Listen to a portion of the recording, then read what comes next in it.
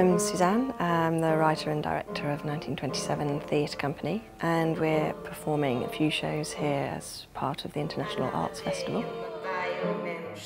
The thorn in this city the ghost of the feast, the rotten tooth with its dull ink, the show is set in a dystopian tenement block called the Bayou Mansions, which is absolutely crawling with cockroaches. It's a really filthy and poverty-stricken place, and a very lovely middle-class do-gooder comes along to try to change things there in the Bayou Mansions. I simply must do something for these poor little dears.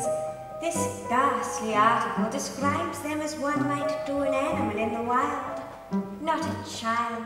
Uh, and then all hell and hilarity breaks loose.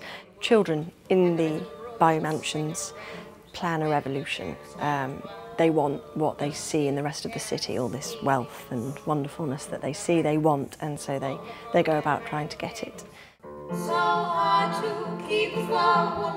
the, the show is probably unlike anything you'll have seen before, this mixture of uh, performers and animation and music.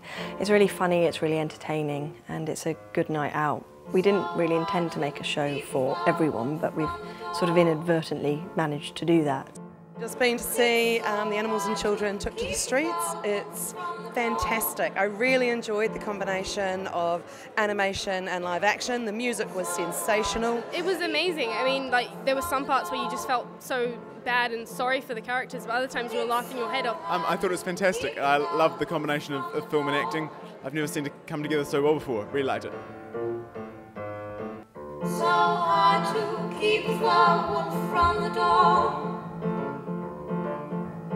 It's so hard to keep the wolf from the door.